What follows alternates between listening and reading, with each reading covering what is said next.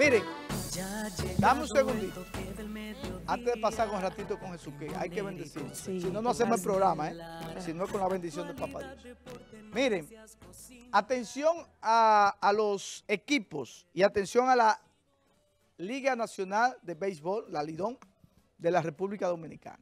No podemos dejar, no podemos dejar que el control de los play se salga de las manos de la seguridad. Ayer, en el partido de Águilas y Licey, fueron un grupo de jóvenes, con todo su derecho, a protestar con el nombre de Radamés Camacho, presidente de la Cámara de Diputados, a, vociferar, a, vociferar Camacho corrupto, Camacho ladrón. Esto está mal, mal, pero mal al cuadrado. Si quieren protestar, que lo hagan fuera del play, porque yo que voy al play, yo voy a disfrutar de un partido de béisbol. que no tiene nada que entonces, ver si ustedes dejan que eso se salga de control, entonces todo el mundo va a hacer, una propuesta política. Así que, atención cachicha.com, atención telenor.com.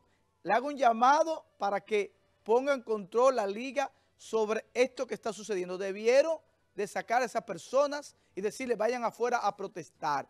Porque se va a volver un circo político la pelota dominicana.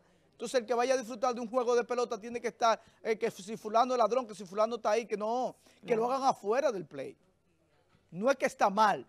O sea, yo siempre he estado de acuerdo con que los pueblos deben de protestar y de esa forma pacífica, excelente. Pero no podemos coger el escenario de los play para este espectáculo, ya lo saben. Me alteré un poco, pero vamos a calmarnos ahora con un ratito con Jesús Maya. Así es, qué bueno saber que usted está en sintonía y nosotros agradecemos ese respaldo con un buen contenido. Por eso en este instante, como hoy es miércoles, equilibrio de la semana, vamos a ver qué nos trae nuestro pastor.